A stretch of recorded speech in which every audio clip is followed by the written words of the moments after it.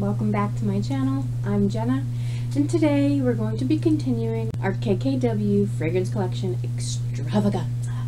If you didn't see my first video, I did a array of KKW fragrances. I did one fragrance from four different collections within the KKW line, but today I am going to be focusing on the Diamonds collection. The Diamonds collection is a line she did in collaboration with her sisters Khloe and Kourtney, the three Kardashian sisters from that family. And they've actually had two releases of the Diamonds collection. The first Diamond collection came out in 2019, and that consisted of the white diamond or just diamond for Kim, the yellow diamond for Kourtney, and the pink diamond for Khloe. Now, the yellow and pink diamonds from that first collection is currently sold out. And it seems like it has been sold out for a while because it is very hard to find them even from third party sellers. And when you can find them, they're extremely marked up. I did not want to pay the price for those fragrances because they're like 80 90 100 dollars or more per perfume the yellow diamond for kourtney was called an oriental gourmand but I did not bother to write down the fragrance note since we're not reviewing that fragrance. And similarly, the pink diamond for Khloe is um, a floral bouquet. Maybe at a later date and time, if those perfumes come back into stock or I find good sales on them, I will buy them and review them. But for now, that's all the information I'm going to provide. And there is no bundle currently available on the KKW website for all three fragrances. Again, there are some bundles available third-party sellers, I'm mostly in minis, and it's like $130 or more for, for mini ones. So I did not get the pink diamond or the yellow diamond, but I did get the white diamond, and I did get all three of the fra fragrances from the second Diamonds collection, or Diamonds 2, which was which was launched in 2020. Now, all the fragrances in the Diamond collection are one ounce fragrances, and they're all $40. Now, like I said, I do have the white diamond or just the plain diamond scent, which was Kim's fragrance from the first Diamonds collection release. Looks like this. The bottles are shaped like gemstones. They're very pretty. And of course, because this is just the regular diamond, it is just a clear bottle. Let's go ahead and give this a smell.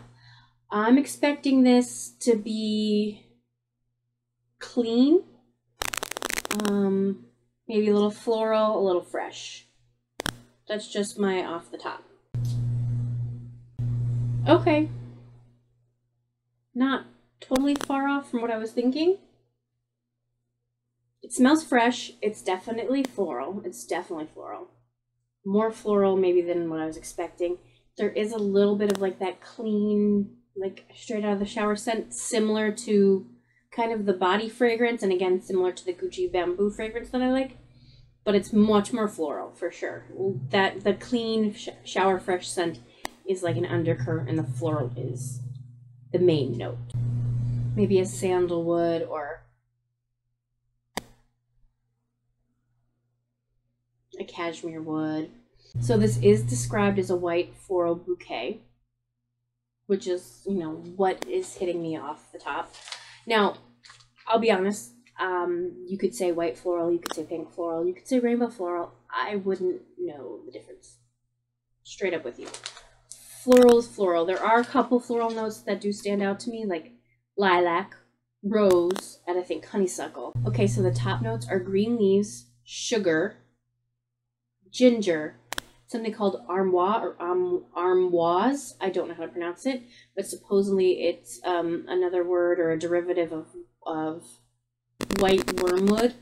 I can maybe maybe smell the green leaves a little bit. I think it's getting buried by the floral, but I think there is a little bit. I think that's where some of the freshness is probably coming from. The middle notes are ylang ylang, orange flower, and sampaguita. Probably butchering that, but that's another type of flower.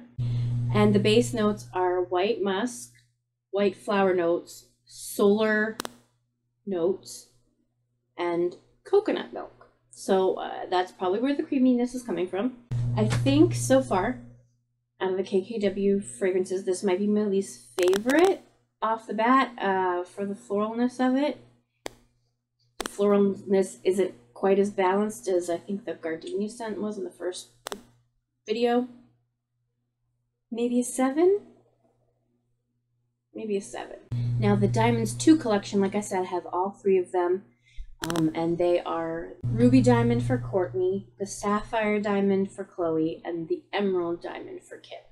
Like I said, this was released in 2020, and you can get a bundle of all three of these scents for $110 on KKW site or for $40 for each perfume singularly. I'll start with Kourtney's, the Ruby Diamond, because this is the only one I have the box for. So this is what the box is for this collection look like. The one for Kim's is green for the emerald, and the one for the one for uh, Khloe's is blue for the sapphire. And gets pulled out the side like this and sits in the box like this. So this is what the ruby perfume for Kourtney looks like.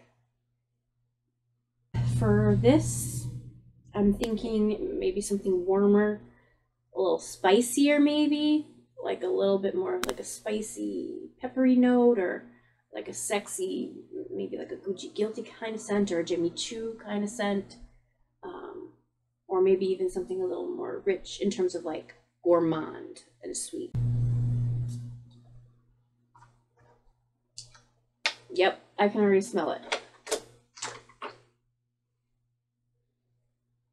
We've already got something deeper, something darker, something more of a night scent. A little spicier, a little sexier. There's still floral in here, for sure. There's a little bit of a powderiness to it, which is surprising for a darker scent. But this is definitely more of like a night scent. Going out, going on a date, trying to be a little bit of a vixen. It's not overly sexy, it's not overly dark. Like I said, there's still a lot of floral to this. So there is still some lightness to it. I wish actually that there was less floral to it, but a little too strong now. And this is considered uh, an amber floral. So the top notes are red ginger. So I think that is the initial spiciness that you're getting, the darker spiciness. And it also has osmanthus, pink peppercorn. So again, there's the spiciness, and ruby orchid accord. And the middle notes are rose, so I think that's where some of the powderiness is coming through. Pimento, again, some of the spiciness, and wild poppy. And the base notes are vanilla bean. Like I said, there's a little bit of like a creaminess in there. Australian sandalwood and jasmine. Okay, so we did smell some of the notes that were in there. I think we actually kind of nailed that one pretty good for the most part. For me, as someone who's not great at this, I feel pretty good about that. Um, I liked the way it smelled initially better. The floralness to it and the spice to it is sharper rather than warm. I wish there was more warmth to it, which I don't usually say. With the with the floral mix, it's too sharp. So it needs just something to round it out a little bit and let the spiciness shine over the floral. This is the most different one we've tried so far. It's not my favorite. I wanted to like this because it was so different, but it's not falling into that niche of like warmer, darker, sexier scents that I do like. I'd say this is also probably a seven, maybe 6.5. I'd have to wear it and see how it does on the skin. I like the red bottle though, it's really pretty. All right, and next we have Sapphire Diamond by Khloe. This is a beautiful blue bottle. That's a gorgeous dark deep blue. I'm expecting this to be maybe a cooler fragrance, um, a cleaner, or maybe like have some like oceanic or aquatic or um, air ozonic notes to it. I think I missed. There's something so familiar in this, a note in here that is so familiar. It's not aquatic, it's not ozonic, but it's not ringing. Maybe it's a citrus mixed with a chocolate and a pepper. It has to be something more specific than that. But that's like the it is a little cooler. I I just gotta look at the notes because I'm really I'm really not sure, but it's so familiar. I'm wondering, I'm thinking when I look at this, I'm gonna be like, oh yeah. Okay, so this is supposed to be a floral fruity gourmand. Okay, so there is sea breeze in this. Italian mandarin, so there's the citrus. And blueberry? Is that blueberry? This is so complicated. This is confusing me. And the middle notes are wisteria, Bulgarian rose, and panettone, like that that bread that almost looks like a fruit cake that, that is like really popular around like Thanksgiving and Christmas. And then the base notes are whipped cream, vanilla, tonka bean, and sandalwood. So I guess I was kind of right. I talked about uh, that there was some sort of citrus. I said chocolate, but that was more like the whipped cream and the vanilla and the tonka bean, probably. Do any of you know? Have any of you smelled this? Been like, this smells exactly like. If so, put it in the comments because I need to know. I'm not like I don't hate it. I'm like, what is this? But I don't. I don't think I like it. There's something about it that's turning me off. I think it's the combo you can smell all of it, but it's too muddied at the same time. How? I don't know. I didn't make it. Ask them. It's not settling and mixing cohesively the way the way I would want it to. Maybe it would on the skin. I don't know. But I think that's my least favorite. I'm going to give that a 6.5. Which again is a shame because that blue bottle is so gorgeous and Khloe is my favorite and I wanted to love it wanted to love it for you, Khloe, but you confused the hell out of me. I don't know. I don't know what I'm smelling. I don't know. Is that what you smell like? Probably smells great on you, it, but it's confusing my nose. And the last one is Emerald by Kim. This is the third fragrance that comes in the uh, Travel Spray Purse Trio with the body fragrance and the Crystal Gardenia that um, we sprayed in the first video. So this is a 10 ml travel spray. I don't know if I said in the first video, but the Purse Trio is $45, so you get three 10 ml sprays for $45. So this is Kim's second fragrance. So hopefully I will like this more than the first one. Because it's green, my hopes my hopes are for a green fragrance. I love green fragrances. I love green notes.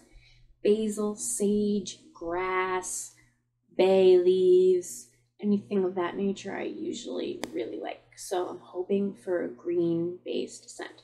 It's going to be floral because they all are. Come on, Emerald. Be green like you're supposed to be.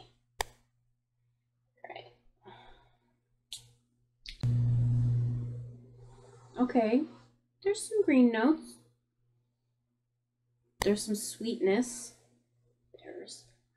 Say it with me now. Floral there's a cleanness to this one. It's similar to the white diamond. I think I might like this one a little more than the white diamond because it's slightly less floral. It's a little more dampened down by the other scents in this fragrance. I'm not able to name them offhand because why would I? So this one is just labeled as a straight floral. But I somehow feel like this might be the least floral of all of them, which is funny. Okay, so the top notes are orchid, mandarin, and evergreen. Yay! So there are green notes in here like I was hoping. I can smell them a little bit. They're not quite as strong as I would like. And the middle notes are passion flower, violet leaves, and pear blossom, benzoin, orange blossom, and hinoki wood. I don't know what hinoki wood is. I've maybe heard of it once before, but I don't know what it is. It's a wood that's all I can really say about it. I think, you know, that's lending to the earthiness of this fragrance. The floral's coming out more now. Just what I wanted. Don't get me wrong, I know there's floral in like almost every single perfume there is. But these could do with a little less, I think. Especially in these diamond perfumes. I think if they toned down the floral in these, some of them might have made more sense. Some of the other notes might have shown a little bit more. I think this is a 7.5, and I think the emerald is my favorite from the three, from the four diamond perfumes we tried today. I would say green, then white, and I'm back and forth on the ruby and the sapphire. Um, because there's things I liked about both and things that I didn't like about both. I don't think they were fully successful. I don't think the notes in those perfumes complement each other the way they should have. They kind of more fought with each other, and and they didn't bring out the best in each other. They were too contrasting. They didn't blend well. Um, but yes, I'm gonna say for now, without having worn them, say Emerald is my favorite, just based off first sniff. So that's it for part deux, dos, two, whatever you want to call it, our KKW fragrance extravaganza. Stay tuned for parts three and four. If you liked this video, please hit the like button, think about leaving a comment, and if you want to see parts three and four, subscribe. Otherwise, just come back in the next week or so. They should be there. Either way, I'm glad you joined us today. I hope you got some helpful information, maybe helped you make a decision about whether or not to buy these fragrances. Either way, thank you for coming, and I hope to see you guys again. Bye.